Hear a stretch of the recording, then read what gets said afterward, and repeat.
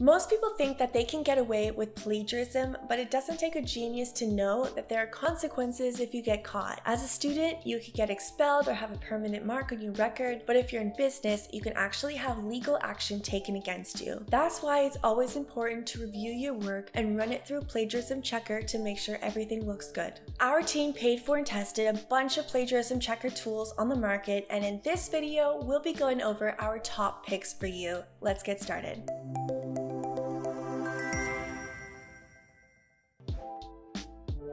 Grammarly is one of the most well-known plagiarism checkers out there. It has a huge database that it uses to check for sources, so you never have to worry about plagiarizing anyone else's work. Plagiarism testing is just a small part of all the services that they have. Grammarly also checks for grammar, punctuation, clarity, vocabulary, and more. And the best part, you can use it across all of your favorite devices, on the web, the mobile app, or even as a Chrome extension in Google Docs. Unfortunately, only those with Grammarly Premium can use the tool to check for plagiarism. If you use the link in our description, you can get 20% off Grammarly today.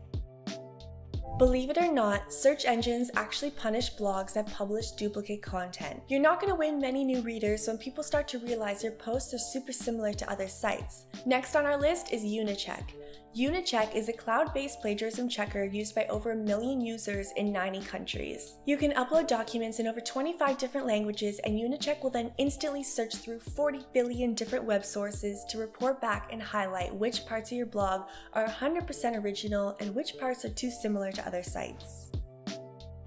Quetext has a great plagiarism checking database and uses a system known as Deep Search, which pulls from billions of websites and millions of books and journals. Unlike Grammarly or ProWriting Aid, Quetext supports multiple languages such as French, Spanish, German, and many more. It's easy to use and has great detailed reporting, which you can also export. On the downside, Quetext only checks for plagiarism, meaning there's no built-in grammar tool like a few other online plagiarism checker tools. This might be a deal breaker if you're looking for an all-in-one tool. Compared to Grammarly or Whitesmoke, it has a limited database and the free version only lets you check around 5 pages. All of their plans have the same features except the advanced plans let you search for more pages. At the time of this video, their Pro Basic plan starts at around $70 on an annual basis and you can see it increase with more advanced plans.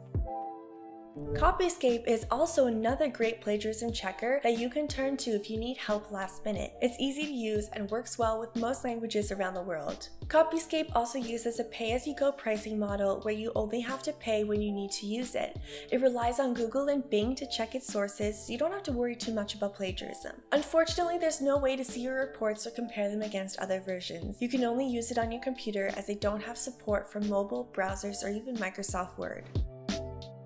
With Whitesmoke, you're not just getting a plagiarism checker, but also a correct grammar checker. It's not perfect by any stretch, but they have a lot of features that most other grammar checkers don't, like video tutorials to show you how to improve your writing. Unlike Grammarly or ProWriting Aid, you can use Whitesmoke to check for plagiarism in over 50 languages. The only downside is that they don't have a free version, which isn't all that great for those on a tight budget. At the time of this video, their web plan starts at around $10 per month, while their premium plan costs around $15. For businesses, you're looking around $25 a month.